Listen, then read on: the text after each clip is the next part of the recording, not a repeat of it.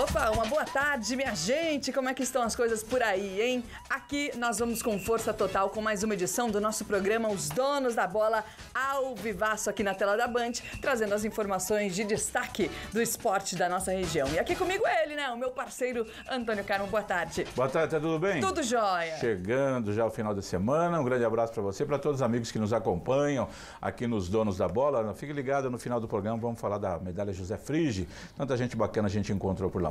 É coisa boa, hein? Fica ligado aqui no nosso programa que hoje tem bastante informação. Lembrando sempre que você pode participar ao vivo e de repente se você vai ter que sair da frente da TV, pode também nos assistir através do facebook.com barra os donos da bola vale. Muito bem, gente, nessa terça e quarta-feira aconteceram as finais da 31ª edição dos Jogos Escolares de São José dos Campos. O torneio, que antigamente era conhecido como Jogos REM, da Rede de Ensino Municipal, agora cerca de 5.700 estudantes de 41 escolas em diversas modalidades esportivas participaram desse torneio que foi dividido em quatro etapas que aconteceram durante o longo do ano. Vamos ver então como essa garotada disputou os jogos decisivos que definiram os campeões. Enquanto as equipes se desafiavam em quadra, fora das quatro linhas, o clima era de expectativa. Durante o alongamento, concentração máxima para não deixar o nervosismo tomar conta.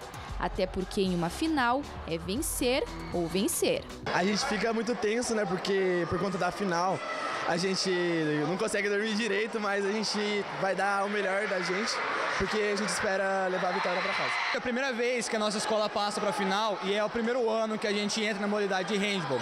A gente está muito feliz por, ter, por, é, por poder chegar na final e realmente a gente está sentindo bem nervoso e pressionado. E foi assim, cheia de disputas, a quarta-feira em São José dos Campos. O ginásio do SESI sediou as finais da 31ª edição dos Jogos Escolares nas modalidades de handball e futsal em quatro categorias.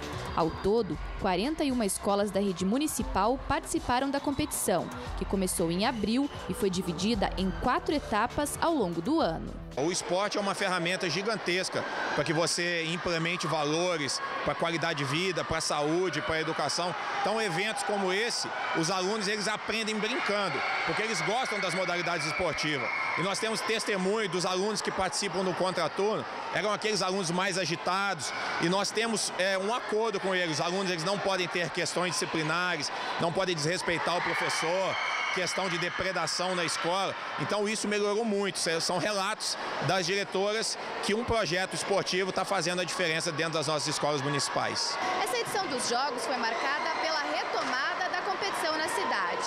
Entre 2014 e 2016 o evento não aconteceu e no ano passado foi realizado apenas com a modalidade de futsal. Então, para muitos também é uma oportunidade de matar a saudade desse clima de disputas. Caso dessas duas estudantes. A Ana Cristina chegou a participar da competição na modalidade de handball antes desse período e agora comemora a volta dos jogos. A irmã mais velha, Ana Carolina, também jogou na mesma modalidade, mas não pode mais participar das disputas porque está no ensino médio. Mesmo assim, fez questão de vir para torcer. Para mim foi difícil porque eu era acostumada com o fato de ter jogar a competição. O negócio é a gente pular, a gente torcer para ver o melhor para as meninas. Vou se despedir da escola também. Daqui a gente fez história, como no nono ano a gente fez história e eu gostei muito. De volta aos confrontos, ao fim de cada jogo, muita comemoração. A escola campeã do handball sub-13 foi a Luzia Levina. Feliz, muito feliz, porque nós ganhamos, nós somos campeão. E na hora da premiação, a alegria continua. Para os campeões e vice, medalhas e troféus. É a recompensa pelo esforço e o trabalho em equipe. Ah, gente, é maravilhoso, porque a gente chegar onde a gente conseguiu, né? Porque o nosso objetivo era chegar onde chegou. E a gente conseguiu com força e, e batalha mesmo, né? Nós somos uma união, com união, isso que a gente conseguiu, a força. E agora é só comemorar. Só comemorar. Que bacana. Aí tá aí o Renato Santiago, fez história no São José, no futebol do Brasil, é um grande ídolo joseense também aqui do Vale do Paraíba e hoje diretor de esportes da Prefeitura de São José dos Campos, que é também um dos grandes responsáveis pela volta aí dos Jogos Escolares, Antônio Carmo, antigo é. REM, né? Na minha Isso é época é disputavam interclasses, depois do REM, os campeões não, disputavam não, o REM. Não é do meu tempo. não é do seu tempo, né, Carmo? Tá muito é. antigo. é a 31 edição, não é? é. Então pro Carmo tinha que ser muito antes. Muito antes. Bacana, quando, né, ah, lá em Suzano, quando estava lá. Só jogava no tinha, é, Não, né? não, tinha de vez em quando algumas. A gente tinha algumas competições, mas nada organizado, uhum. assim, né? Marcava-se um jogo e, eventualmente, num sábado ia a escola com quatro, cinco modalidades, jogar contra outra uhum. escola lá, depois eles iam. Às ah, vezes na, no, na é, própria quadra da escola. Da escola, mesmo, na quadra né? da escola. Depois eles retribuíam a visita pra gente na nossa escola. Bom, aquelas coisas mais, é, é, mais rúdicas, assim, uhum. né? É, o, o, o, caso aí, André, é muito bacana porque a molecada, a criançada tem mesmo que praticar esporte. Esporte é saúde. Quem pratica esporte é um cidadão diferente, uhum. foge dos problemas, tem muito mais condições de ter uma, uma vida melhor, né? Então é muito legal a gente ver aí a molecada correndo atrás, batalhando. Uhum. E aí, André, você tem aquele valor do título, mas sabe que se perder também é, faz parte do. já vai aprendendo. É a integração vai, vai entre eles mesmo. Né? É aquilo que o Renato é. falou, né? Tem que ter disciplina na torcida, ah, tem que ter disciplina não, na, na escola, escola, e nota boa. Se tiver nota ruim, não pode. Aí ele, ele é cobrado não só em casa, mas pelos próprios companheiros. Às vezes é um bom jogador, uhum. mas você não vai poder jogar. Se está com nota vermelha, vai ter que melhorar. Vira vai ter um que. estímulo, né? É, vai ter que, que que entrar com a gente ali. Então, é muito legal. Eu vi uma, uma, um cartaz ali, Escola Álvaro Gonçalves, né? Uhum. Álvaro Gonçalves, que foi um grande locutor aqui, apresentador da nossa Rádio Clube, aqui da Rede Bandeirantes. Né? Fazia um trabalho sensacional, apresentava o Comandos do Ar na rádio e terminava o programa dizendo o seguinte: o resto é silêncio, ouvintes. Eita! Fica aí a mensagem pra garotada, viu? Parabéns aí pela festa de vocês. Agora, como disse a jovem estudante ali, agora é vibrar e torcer, né? E pensar no futuro.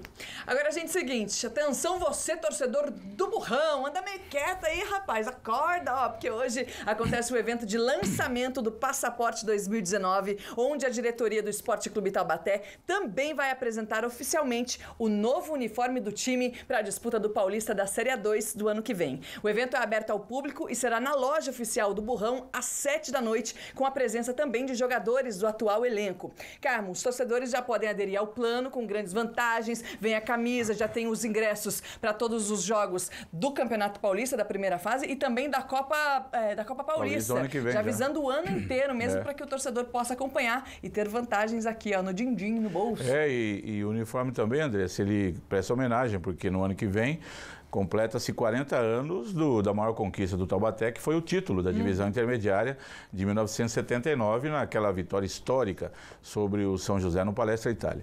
Então, tem isso a ver também. É bacana, tem que trabalhar. Eu já falei muito aqui, André, não é porque o time está na Série A2, uhum. seja um time pequeno, que não pode fazer o que os grandes clubes fazem, que muito tem a sua loja. Né? Tem, tem, que, fazer, trabalhar. Se você está, os clubes grandes não precisam sair atrás. O torcedor vai lá e agora o clube pequeno, o clube que está numa Série A2, caso Taubaté, os clubes do interior, se eles ficarem paradinhos ali, você falou, ah, o torcedor está muito. O torcedor esquece. Uhum. Então o, o, o clube, ele tem que cutucar o torcedor. Ó, oh, vem cá, nós temos aqui. Tá fazendo, isso, né? é o que puder fazer.